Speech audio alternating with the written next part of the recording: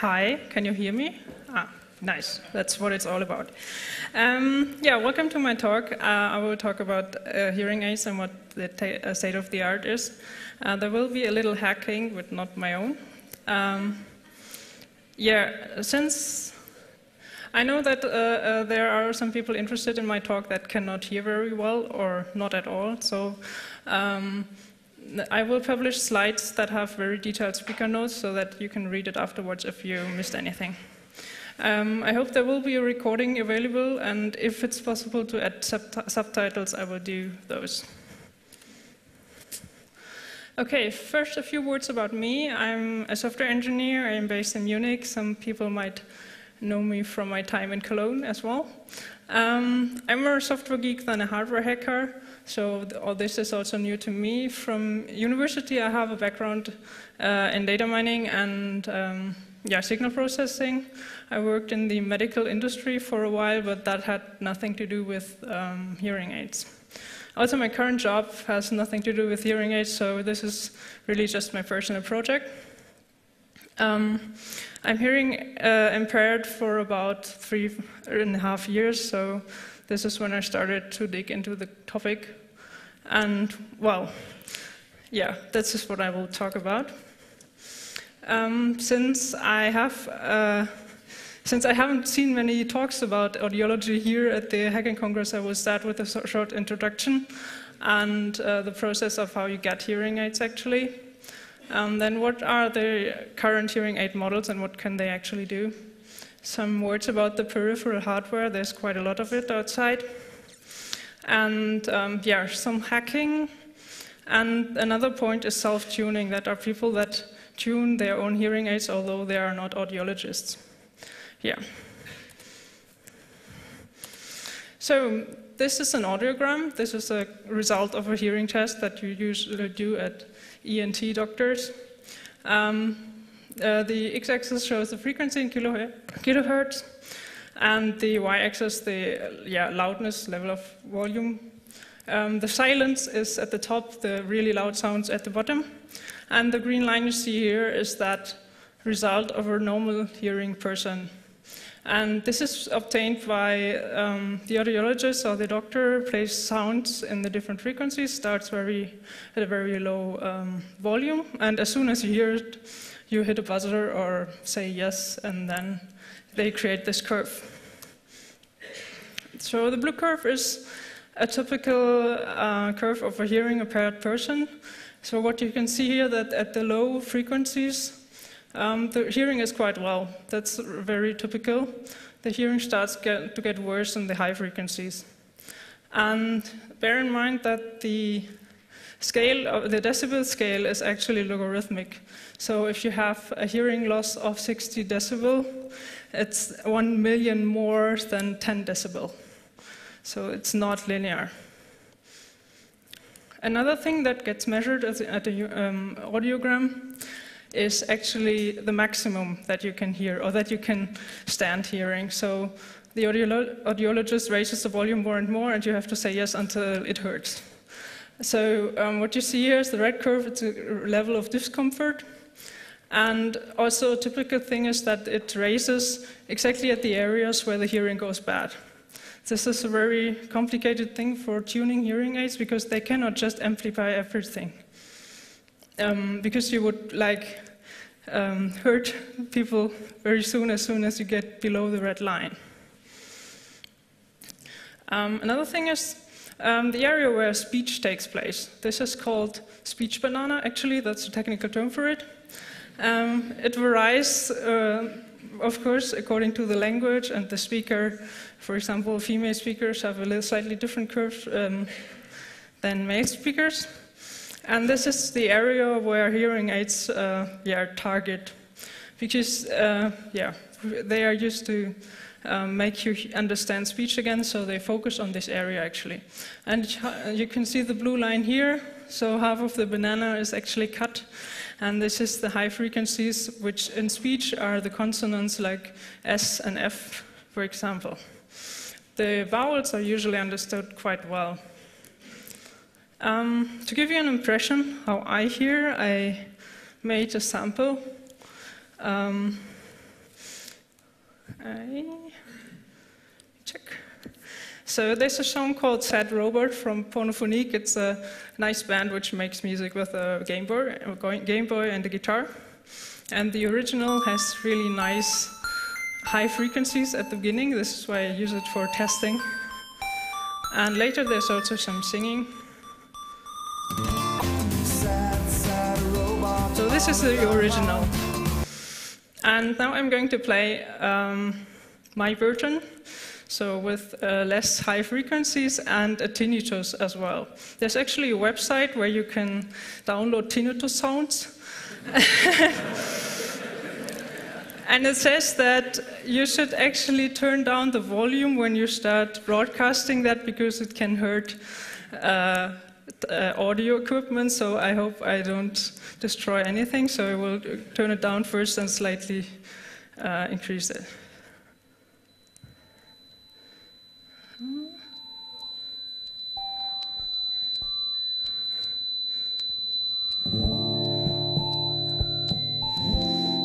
So this is not a feedback loop, it's the tinnitus, and without the high frequencies, this is how it, uh, uh yeah, how it is.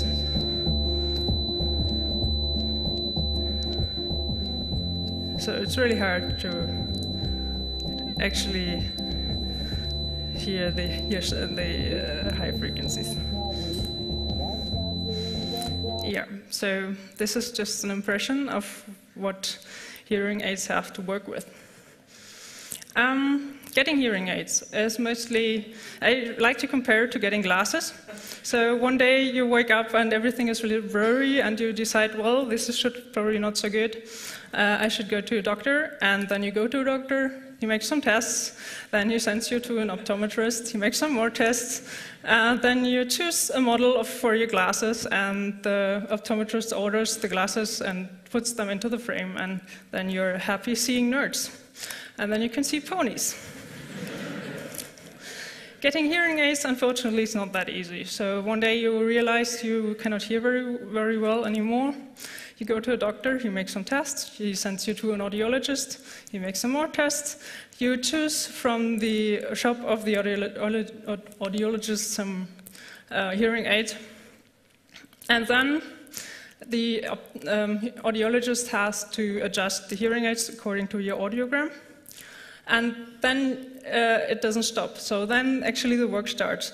You have to go through all the difficult hearing situations to test if it works with that tuned hearing aid. So you drive a car, you listen to music or other people in the car, you try to have someone whisper something in your ear, you listen to the, to the TV or you go to a party where a lot of people are talking to each other and you have to make out the person that's talking directly to you. Or you listen to a talk like that where the speaker is actually quite far away from your hearing aids. And if you, if you have done all that, you go back to the uh, audiologist and you have to tell him why it doesn't work or in what situations it doesn't really work. And then he does some changes in the parameters, and then you have to do that again. And sometimes you switch to a different hearing aid as well. So this whole process, this iteration, it takes weeks or months until you have something that is actually fitting to your ears. And um, after that, you're sort of happy. actually, I haven't met a person that has hearing aids that actually compensate for the hearing loss completely. So whenever you are done with that, you're usually just stopping because uh, you don't want to spend any more time on that. And it's, yeah, it works well enough. Um, compared to glasses, this is actually a lot more effort and a lot more frustrating. Another thing is that hearing aids are really um, expensive. A good hearing aid starts at like 1,500 up to 3,000. And I only have the numbers for the German uh, health system, the normal German insurance pays 500. So there's a lot of money you have to pay for yourself.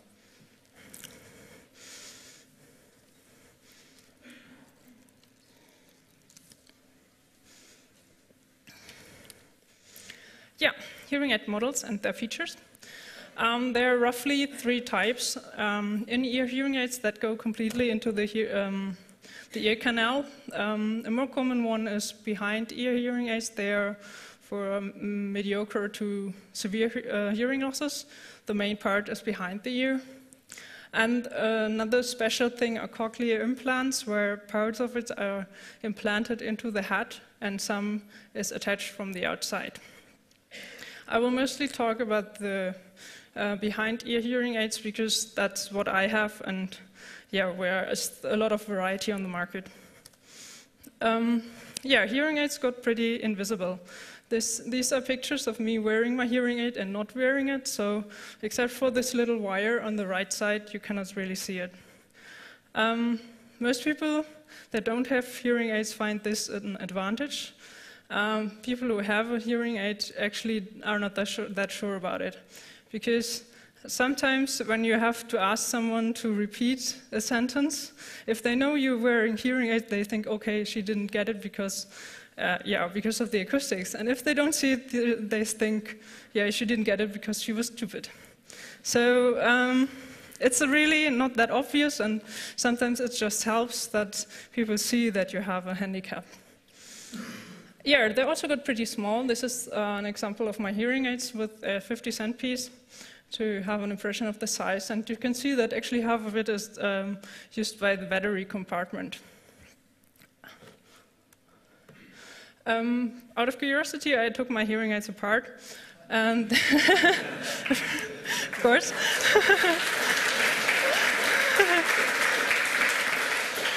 Um, you can see they have like shells which you can take off, which is like uh, like for mobile phones. You can switch the color and choose a different one. And um, the body still, I know this picture is not really good. There's still a lot of plastic around it, and and the white part there's two microphones, um, the signal processor and uh, antenna that's used for peripheral hardware. I will come to that. And the speaker is actually at the part that goes into the ear. And what you can also see here that um, the part that goes into the ear has also like uh, holes where the natural sound can still come to the ear. So if you still hear like low frequencies, um, then they can uh, you can perceive them uh, naturally, and only the, the hearing aids only adds uh, what you cannot hear. This is called open hearing aid, and um, it has the advantage that you still hear natural sounds, which is really ni nice if you like, uh, if you're really sort of an audiophile person that likes to listen to music. And so the first thing you do is actually choose that one. Yes, um, in the last, uh, I think in the last two centuries, um, hearing aids got digital, and with that um, they come with a lot of new features that you couldn't do with analog hearing aids. And right now they're standard in most first world countries. And um, yeah, the most important thing is that they can analyze the situation and react to it instantly. Um, since they, I mean, they have signal processing in it uh, much more uh, sophisticated than analog hearing aids did. Um, coming back to the uh, to the audiogram. This is actually a feature that can also be done by analog hearing aids. Uh, uh, I don't know in what extent actually. So if you have a look at this audiogram and only consider one frequency band, like for 4 kilobyte, kilohertz, um, here the hearing loss is between 60 and 90 decibels. Um, over 90 decibels it gets too loud. And the input of the environment still has the whole range. So the hearing aid has to map 0 to 130 decibel to this small area between 60 and 90. It cannot just amplify everything because that will hurt. And this is called compression. This is, should not be mistaken with uh, compression in audio files like MP3 or something. It's a little bit different. And um, if you have a look at the software that is used to adjust hearing aids, it looks like that. You, film mouse here. Um, this is the, this controls here at the amplification, and um, this here reduces uh, the maximum level. So my hearing aids can at maximum do 108 decibel, and if you have like minus 12, you just subtract it from that.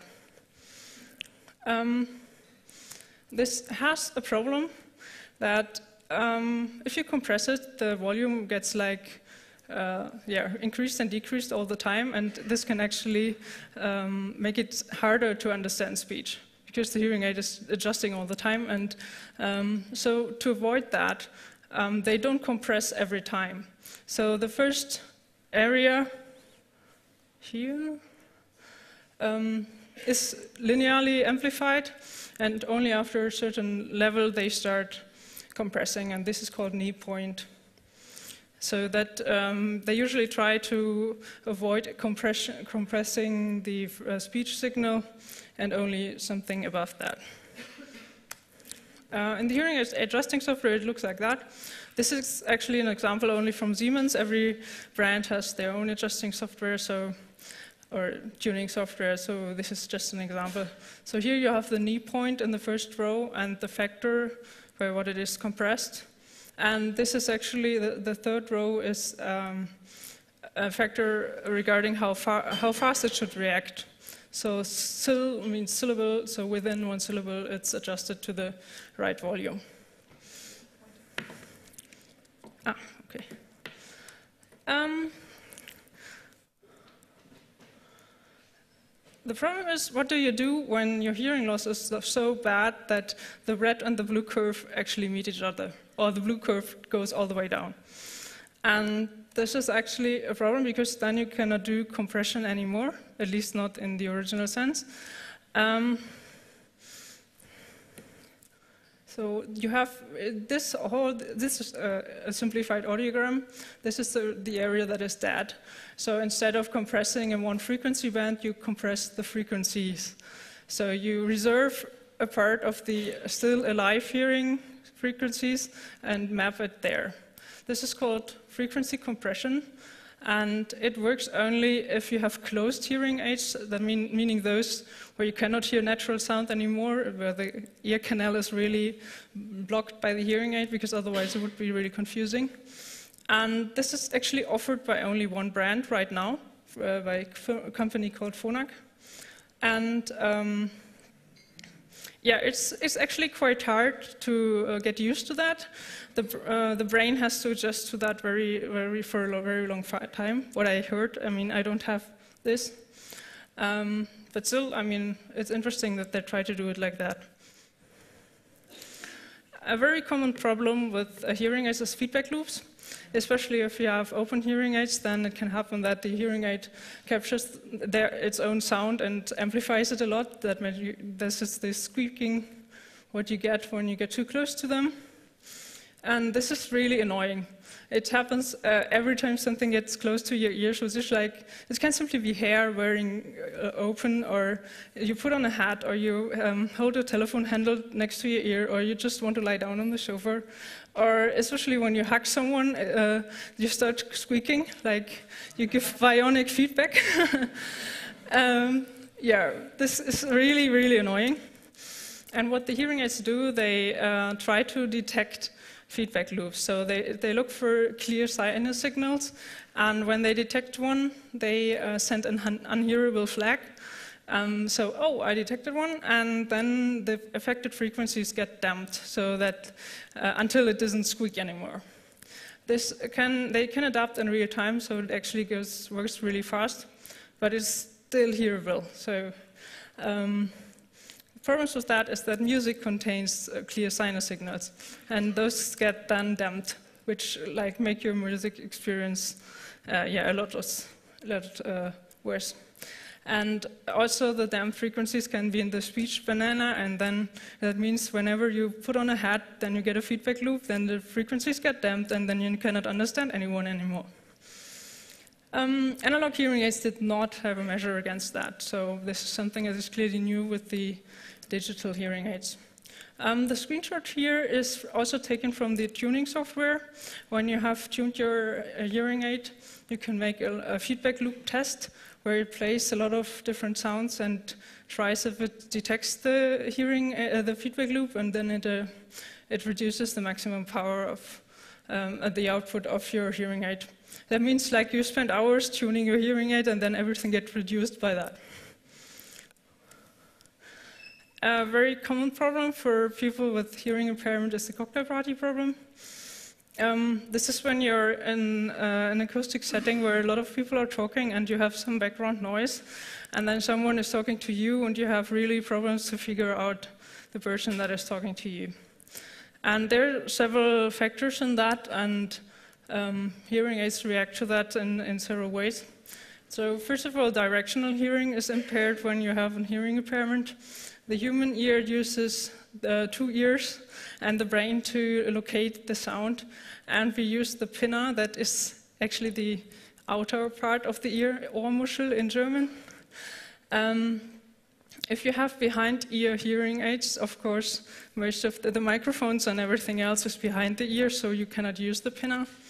Uh, you have to simulate that in a different way. And this is why both hearing aids have two microphones. So you have four microphones in total when you have uh, like hearing impairment on both ears. And they, uh, this way they can detect if the sound comes from front or back. And they talk to each other, so they can also detect if the source comes, uh, the source of the signal is right or left to you. Um, they try to Additionally, they try to, to recognize the situation and um, like automatically focus on the person that is talking to you, and um, also to reduce the background noise in general. Um, the in-ear hearing aids I showed before, they of course still can use the features of the Pinna. This is also a screenshot from the tuning software you can actually test your di directional hearing in real time. So you can wear your hearing aids connected to the software, and then you can like do something like that and see if if it's uh, if it's recognized correctly.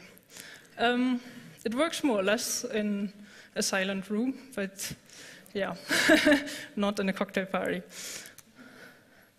Yeah, generally it's really hard to um, extract foreground from background noise because foreground noise uh, has all the high frequencies and background noise doesn't. And if you don't hear high frequencies at all, you, everything is like one, one blob of sound for you.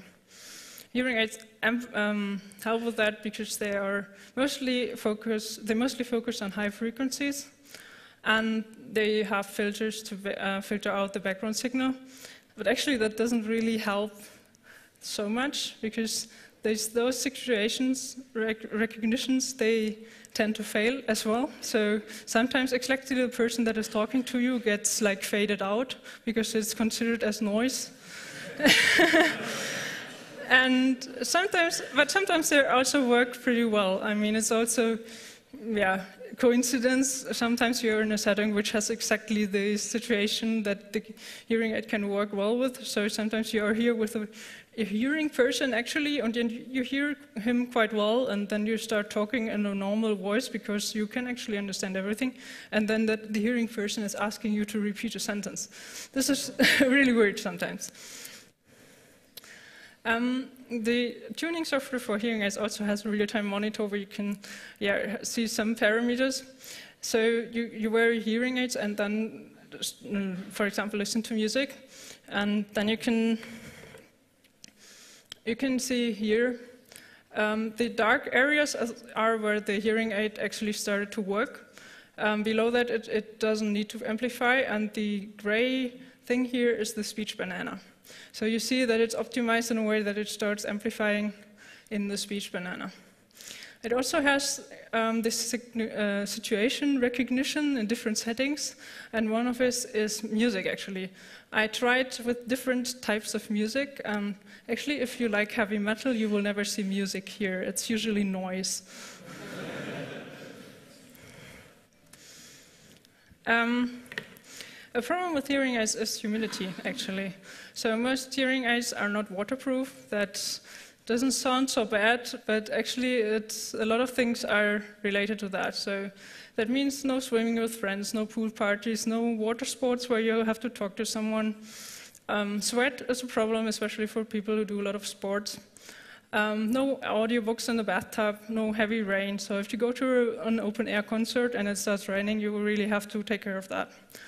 Um, also, just like uh, wet hair, when you go out of the shower, you have to wait until your hair is dry until you can put your hearing aids in again. Um, a very recent development is uh, that Phonak uh, also offers hearing aids that are waterproof or water resistant. Um, they claim that you can hold it underwater for 30 minutes and then there will be uh, no irreparable damage. I'm not really sure what that means, so I guess you probably have to dry it. or if you have to give it into repair for weeks until you get it back. Oh yeah, by the way, um, you don't have a spare hearing aid, so whenever your hearing aids break, you have to go to an, uh, to an audiologist, and you get a spare hearing aids, which is like when you drive a Porsche, you get a tractor, and um, also, audiologists have opening hours for the elderly, so if your hearing aids break on Friday night, you have to wait until Monday until you actually can hear again. Um, yeah, the, those were the, the important features of hearing aids, but there is some peripheral hardware that I would like to, see, uh, to present. So there's different, there are different interfaces for um, which you can use to plug into your hearing aids. So the oldest one is the direct audio input, which is just, yeah, a cable. So um, it looks like that, and it's usually connected to the hearing aid with a, some sort of shoe, which looks like that. And um, yeah, it has the pros and cons of cables. Of course, you feel like being on the leash, but you also have no, no interference with other like wireless stuff. Um, it's usually used to plug something else in, for example, um, FM or Bluetooth adapters. And yeah, I mean, this is pretty old technology, but it's still around.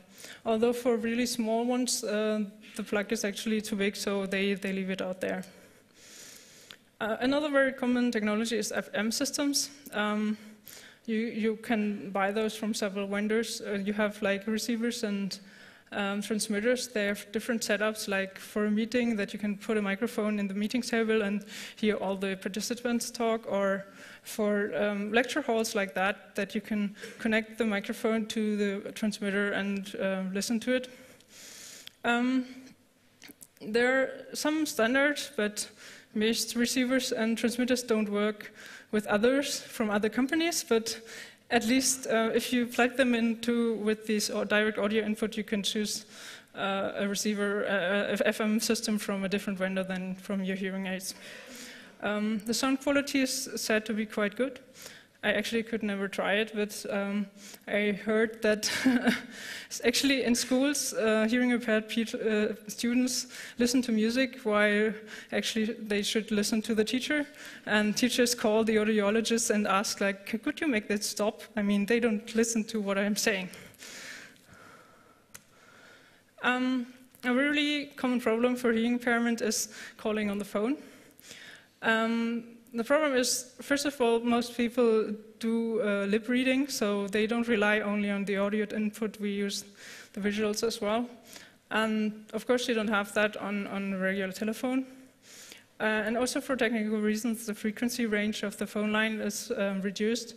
Uh, in, in Germany, it's like 300 hertz to 3.4 kilohertz. That's the blue box in this audiogram.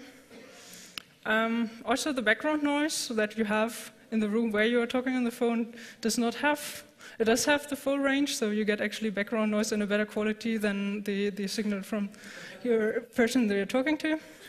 Then often the signal is altered and, and unnatural. It's, sometimes you have bad reception and um, also you hear it only in one ear if you just use a usual telephone. And if you hold it to your ear, you get a feedback loop. So a lot of things make it really annoying to talk on the phone, and there are some technical solutions for that. Um, the most old one is uh, the telecoil or T-coil, and uh, it's connected, um, and the source is connected to an induction loop, and you, you take off the electromagnetics from, and, and this is from the telecoil, it's there in the picture, a really small antenna. And um, there are different ways uh, different setups for the induction loop. So there are adapters that have the induction loop actually used to hang it around your neck. Or there are induction loops installed in lecture halls like this. I don't know if there's one here. Um, it's widely used in Europe, um, especially in Scandinavia. They even have laws where like every public building has to have one, or at least public lecture halls. Um, you have some pros and cons, of course. You have interference. Uh, when you move inside the induction loop, the, the level of volume uh, changes. So it's nothing where you should like dance or something, but if you sit still in the theater or something, it works. Um, installing uh, an induction loop in Electro is quite expensive, but there are actually DIY kits available. It's quite common that people build their own ones.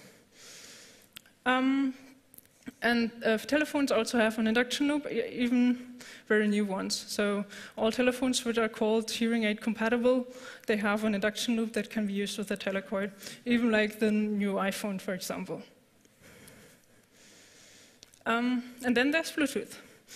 Um, hearing aids, there are right now no hearing aids that can, that can do Bluetooth directly, because mostly of the batteries Usually, um, hearing aid batteries last like one week to 10 days, but with Bluetooth, I think they will only last a couple of hours. Although um, there are not no Bluetooth um, enabled hearing aids on the market right now, um, I've heard that they are working on that. Siemens is uh, located in Erlangen, which is not that far from Munich, so I have heard, heard about people who would like test prototypes. Um, right now, if you have to use a Bluetooth adapter to use your hearing aids, it has a set, and there's there's different version of it. So this is an example of Phonak. They built a really nice thing. This this piece you you hang it around your neck, and the ribbon is actually the induction loop that is used with the telecoil. And to this gadget, you can you can connect several things. You can it has direct audio input, which you can use to plug in an FM system. It also has aux in that you can like directly plug in your MP3 player, and it has Bluetooth. It actually also has a warning to combine this with pacemakers. And I have a friend who has a pacemaker and this thing. He just ignored the warning, but I think this is luckily he's still alive. Um, I think this is a good example for what we are heading in the future. I mean, we will get more and more cyborgs, and, and I doubt that every hearing aid vendor is trying their the adapters with every pacemaker there is. So we will get a lot of compatibility uh, problems in the future.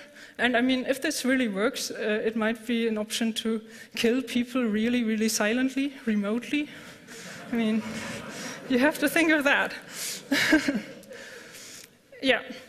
Siemens' solution was, of course, not to use any of the existing standards, just build something new.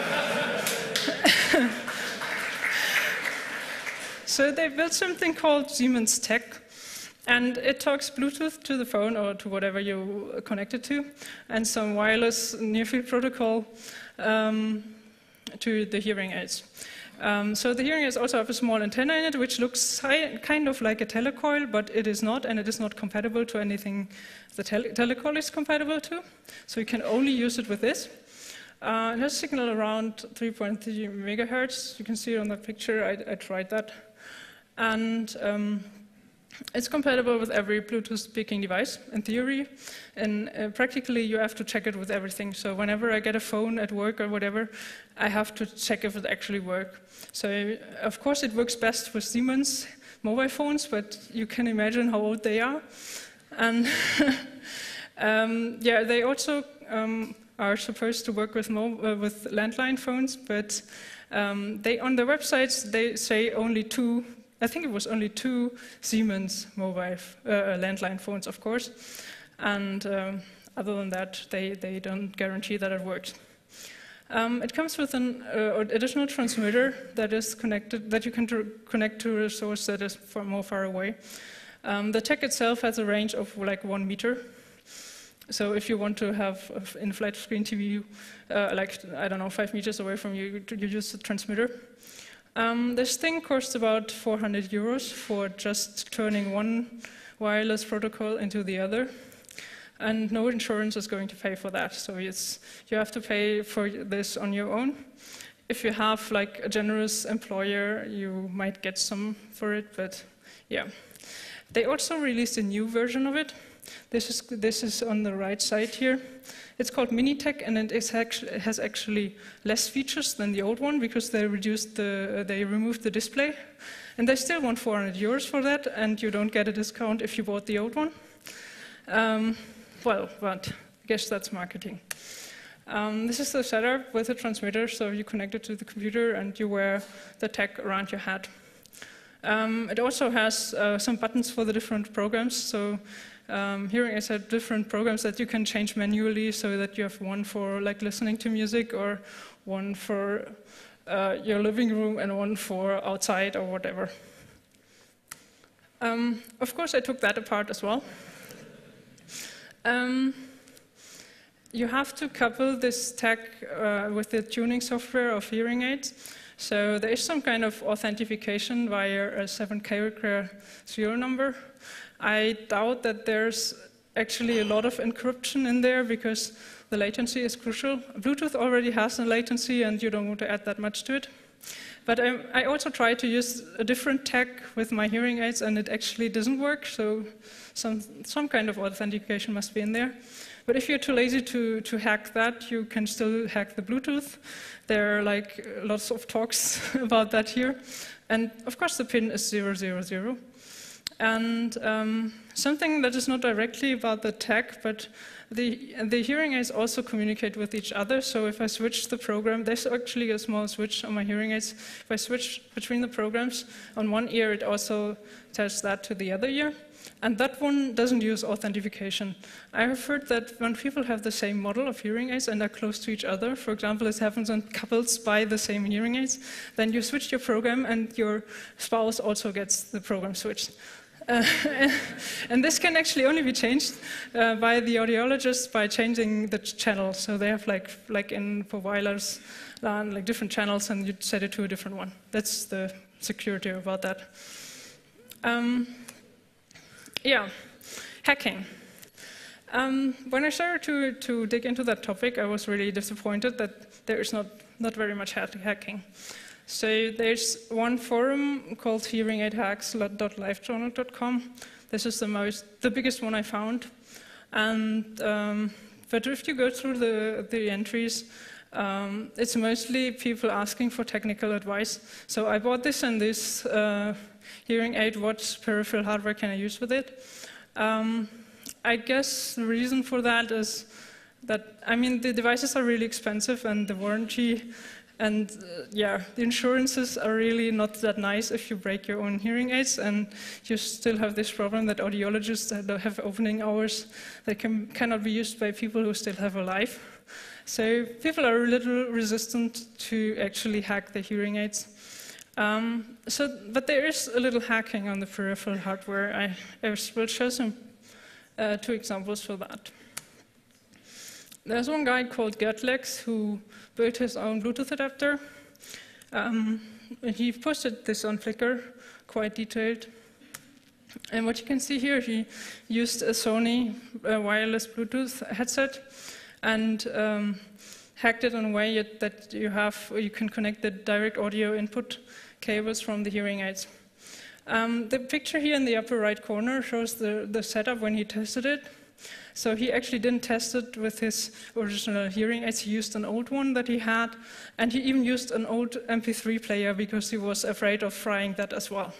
So this is sort of the precaution that you have to do when, when you start, yeah, like frying your hearing aids. I mean, you cannot only fry your hearing aids, you can only also fry your, hear, uh, your hearing even more, so you should be careful. And there's another guy who also made a Bluetooth adapter, um, and um, he um, he also took the DIY cables here, are those shoes that you use to connect them, and a Bluetooth um, mono thing here. And um, this is actually the result that you connected um, directly to the hearing aids. You also provided some nice diagrams for that. The slightly bigger scene is actually the self-tuning scenes uh, for hearing aid, because um, as I said, it's kind of frustrating to get hearing aids. You have to go to the audiologist a lot of times, and he asks you, "Yeah, what's wrong?" And then you have to describe the situation. And but you're sitting in this silent cabin at the audiologist, and uh, so the um, the adjustment is not really done in realistic circumstances. And a lot of people get frustrated about that. So they, they spend like weeks tuning the hearing aids at the audiologist and still they're not happy with it. So um, they try to get the hardware and software that is necessary for it. And those are actually only sold to doctors and acousticians or audiologists. So, um, and they're not sold on eBay because it's medical equipment and this is not supposed to be sold on, on eBay. Um, so there you have to, uh, to use other channels. Uh, there's like a black market for it. Uh, it's kind of hard to to, to put a price on that, but I've seen like offers for the hardware, which is called Hypro, and there's uh, different versions um, for serial USB or Bluetooth. And it starts with a couple of hundred euros. So you can imagine the pain that people have when they already spend like 5,000 euros for two hearing aids, and then they spend, even more money because they want to um, yeah, tune them themselves. And there's, yeah, there is this self-tuner scene, and people really hack the system. So I've heard of people who actually um, installed a fake business. So they registered a business for an audiologist to buy this hardware and then stop the business again. So there are actually people doing a lot of effort to, go, to get this hardware and software. Of course, then you have no customer support, and when you fry your ears or your hearing aids, then it's your own fault. There's one exception in America. There's a, a hearing aid manufacturer called America Hears. They sell quite low budget hearing aids up to $1,000, if I'm right. And you send in an audiogram of yours and they tune it uh, at their place for the first time. And then you can like download the software and uh, tune it a little bit more at home. Um, unfortunately, I've never seen that software. You can only order it in the US, but um, I would be interested to have a look at that as well, if someone has channels for that. Um, yeah, of course, some of this hardware ended up in my hands. This is a serial Hypro. So you have, uh, this looks like really fancy, like a modem from the 80s. it's connected um, via serial and um, you connect the hearing aids to it. I have some closer pictures for that. So you take off, out the battery and put on a small cable which has uh, a contact of the battery, uh, size of the battery, very flat cable, and this is connected to a bigger cable and that is connected to the Hypro. Um, the Hypro is the same for all, nearly all hearing aid brands, so you can use it for Siemens and Phonak and whatever. Um, but these small flat cables, they are different for every, for nearly every hearing aid. So if you try to like buy this Hypro on the black market, you also have to buy those cables. Um, there's also a Bluetooth version that also ended up in my hands. Um, it looks like that and has the advantage that you can, um, you're not uh, connected to it uh, via cable, so you don't feel like on a leash. And um, I haven't really used that much, but this way you could actually go outside and tune it like in the subway or at your office because you just need a laptop and that, uh, and it works without uh, your power for a while. Um, yeah, the tuning software, I showed you some excerpts from it. This is just another screenshot. On the right side here, you, you see the different programs. So the universal one, here's one for music and one for the tech, if you work on that with that.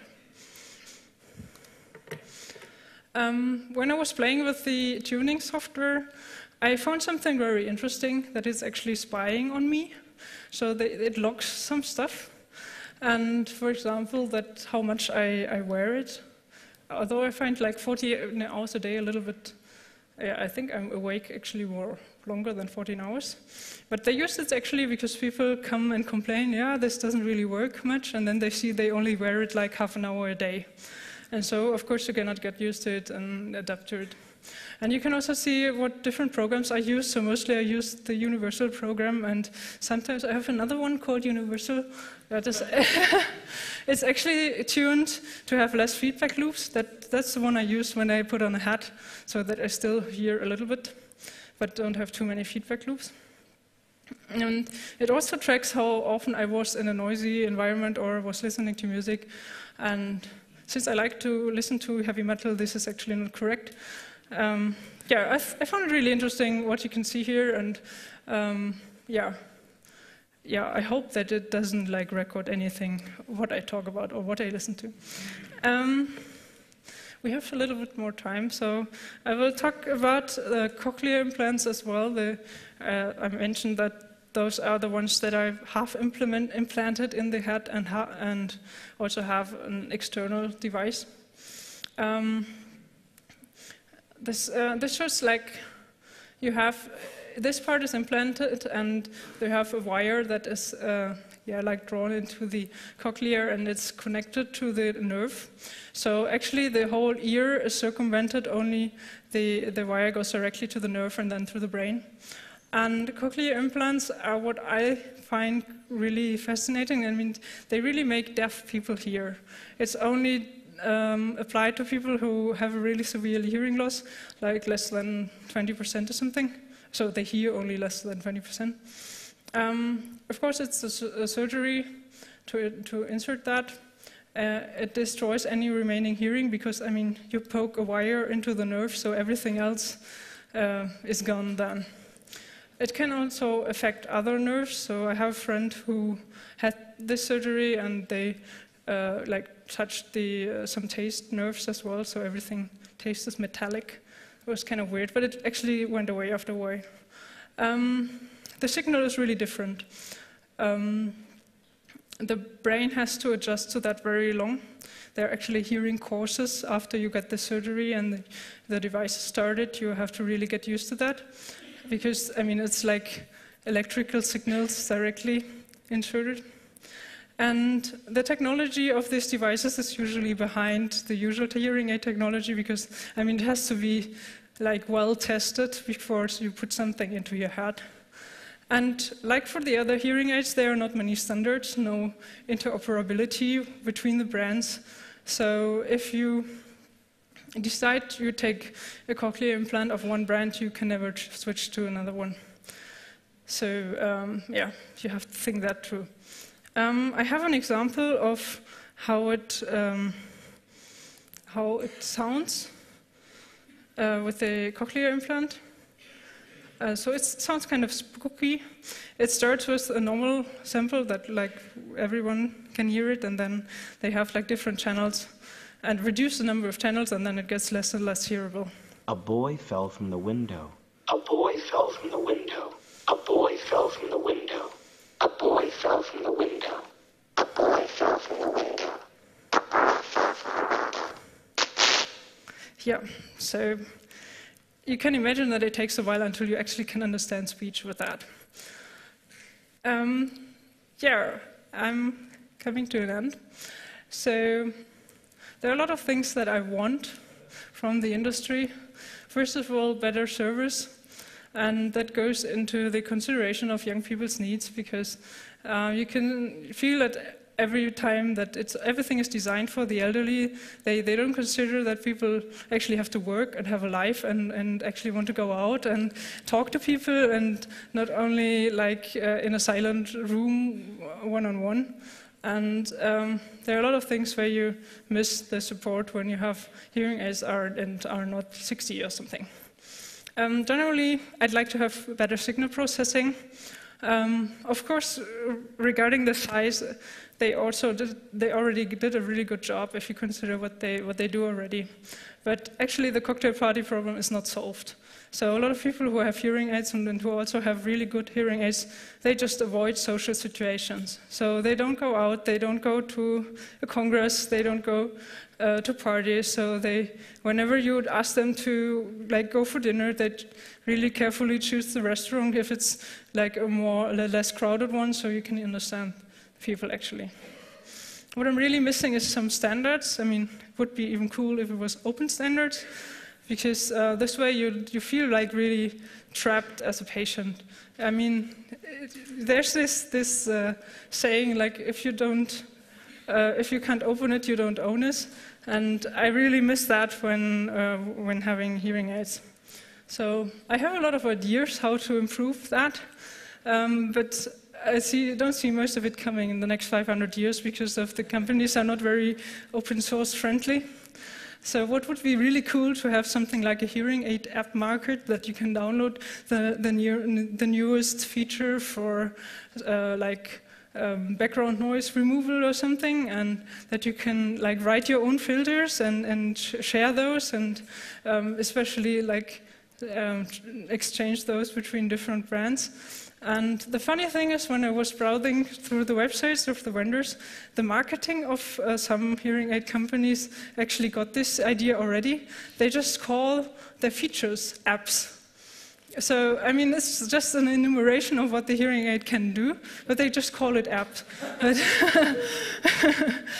and I mean, it would be really cool if there was something like that. You can exchange those and. Um, what I also like, I mean, hearing aids on not, do not use like reoccurring situations. I mean, most people have a rather steady lifestyle. You, you live in the same apartment most of the time. You, you work in the same office. You take the same subway to work every day. And hearing aids are only tuned for like a general situation. And, but I think signal processing works well the more you have, uh, you, the more you know about the surrounding. So it would be really cool if you have like one program for the office and one program for at home and one for the journey to the office. And um, I mean, we, we carry something around that knows all this. I mean, we have smartphones and they have a calendar and it shows where you are and it knows the people that you're talking to and even like if you talk to them on the phone.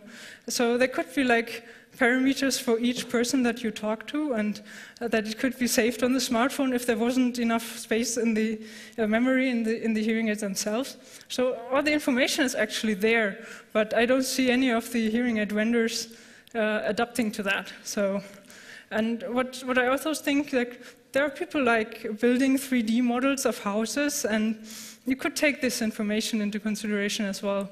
So if I have never been to the BCC, but someone has made a 3D model, you could also like calculate the characteristics of the acoustics here, and then you can, before you go to the Congress, you could download um, the acoustic settings for your hearing aids. That would be really cool. But, well, this is just ideas. Yeah, and then also regarding the, um, the hardware, it would be nice that there were some open standards. I mean, it would be cool if you could like print your own hearing aids with a 3D printer, at least the part that goes into your ear so that it fits really well. I mean, there, there are a lot of possibilities, but the market is really, really slow, and um, they still like try to figure out how do we connect Bluetooth and yeah, I, I, I, for me, it's just way too slow. I, would like to see like more progress in that. Yes, actually, with that, I would like to conclude, and I have to thank some people who helped me with this, uh, with this work, with the, con with the um, talk itself, and all the stuff I talked about. And yeah, I think we have some minutes for questions. Yeah, and that's.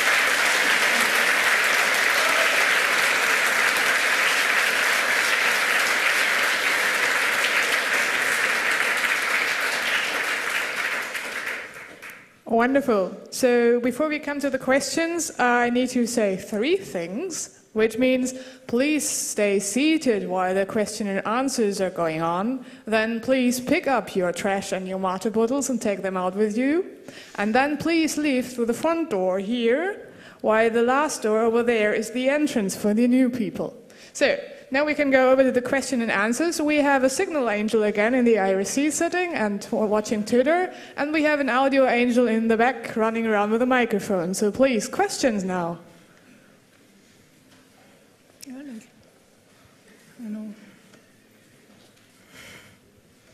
Hi, um, hi, I have a question about the um, cochlear implantat. I'm a neuropsychologist, and I know that um, with eyes, um, there's an approach to um, kind of um, re engineer the signal processing of the retina. And um, with this kind of um, knowledge, you can make better retina implantats to um, enhance the possibilities of seeing with this kind of aid. And is there a similar approach for hearing aids and the cochlear implantat? I mean, there are different types of, uh, of cochlear implants, and I mean, this is really not much of my field of exp- expertise. Um, I know there are like uh, those who still use the membrane in the in the ear, or some directly, um, yeah, the ones that I that I showed that directly insert uh, the wire into the nerve. But um, I am not that familiar with the field, so I don't know what's coming there. Okay, there's a question from the front row. Um, I wonder, is there any connection of research in companies like Siemens or whoever builds these parts?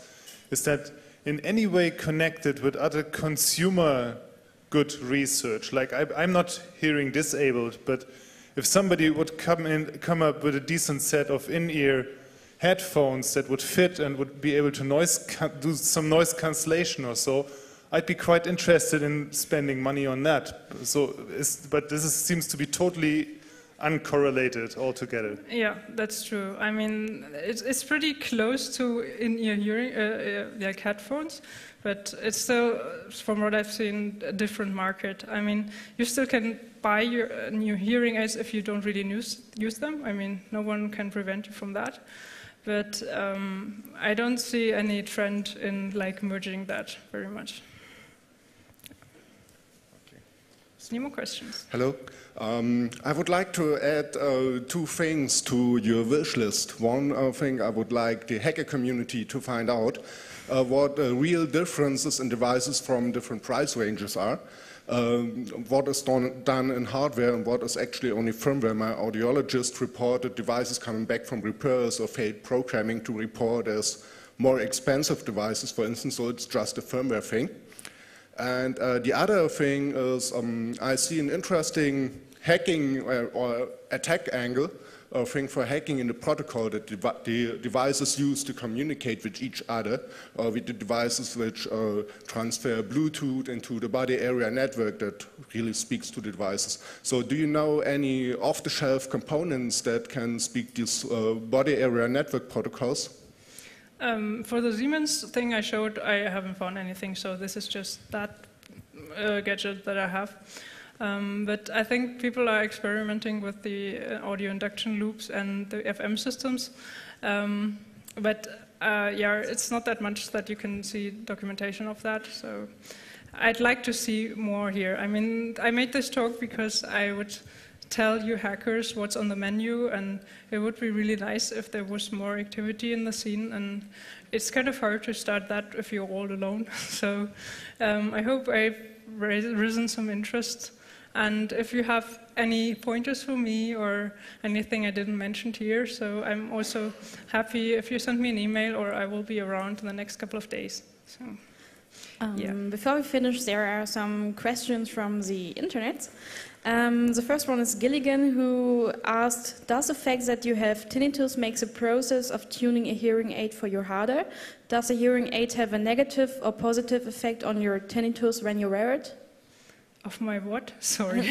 um, a positive or does negative? Does a hearing aid have a negative or a positive effect on your tinnitus um, when you wear it? Actually, yeah, there's, um, there are hearing aids that claim to counter fight the tinnitus, that they like regenerate the, the counter frequencies against that. Um, I also asked my acousticians or my audiologists about that. Um, uh, they actually don't work. I mean, they, they usually are not really offered, and even if you ask for it, they, they tell you, yeah, usually they don't really make a difference. Um, my choice was actually just to, to take a normal hearing aid, and um, because the frequencies uh, that you don't hear very well are amplified, um, the tinnitus in relation gets yeah, less loud, and you, you learn to ignore it. But that's, um, yeah, that's not really magic, but that's the only thing that seems to work. Um, okay, the next one is from Speckmade. Are there hearing aids with documented RP for the tuning official dog reverse engineer? Can you get the official tuning software to tune yourself? Did you write to um, any people who factor them? I haven't found anything about that. That the only thing you can do is like get the software on the black market and disassemble it if possible. But there are like no APIs or something. That's really, yeah, what I'm missing as well. Okay, the last one is from Lucy, I guess. What frequency range can you usually hear using a cochlear implant? How fine can you resolve frequencies? Uh, they are about the range that you have for the, in the speech banana, but actually I'm not that familiar with cochlear implants, so I cannot give the details here. Okay, hi. Um, you showed us the programming tool uh, for changing the settings on the hearing aids. I've forgotten the name, but the, the 1980s modem. Uh, have there been any attempts to clone that hardware or reverse engineer the spec? Uh, s I'm not sure if I understood correctly. You mean like how you get the, the hardware for this?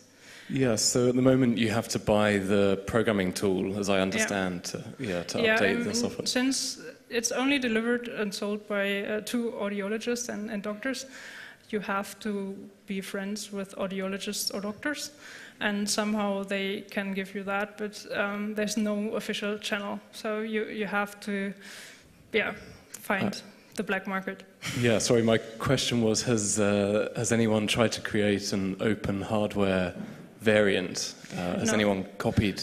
Uh, no, I haven't found anything like that either. So that was was actually also on my wish list that makes the, the tuning hardware open source as well. That would be really nice. But I mean, it's a serial device, so you could actually do some sniffing there, but I haven't seen any approaches there. Yeah, because it looks pretty easy, I would say. Yeah. yeah. So we are running out of time. Is there any really, really important question left? You mean because she's around, so um, you can meet her in the next days on the conference again, on the congress again, and ask her more questions. And thank you very much for the talk. It was very interesting.